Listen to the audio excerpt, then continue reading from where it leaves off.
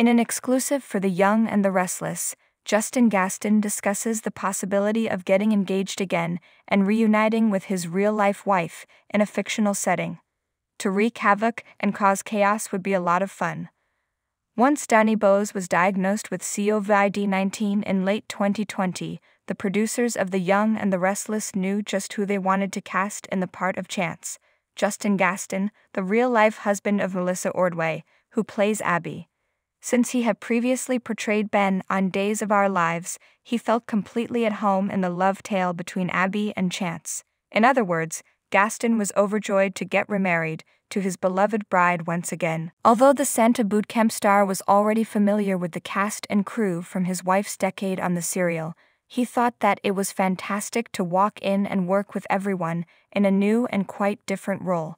That raises the intriguing prospect of whether he would be interested in making a comeback to the program as a different character in order to woo the recently single Abby. Gaston surprised us with his cunning reply You should have a bad guy in your story, I suppose. He grinned and suggested that they maybe come in as a villain, have a little vengeance maybe. It would be exciting to play the villain and disrupt the system. Ultimately, love would do what it always does. The attractive actor grinned. Abby's love may alter him. And now that Abby's affair with Devon has pushed the marriage between her and Chance to the brink, it may be the ideal time for a new man to enter the picture and serve as a reminder to Abby that she is still young, restless, and eager to love again.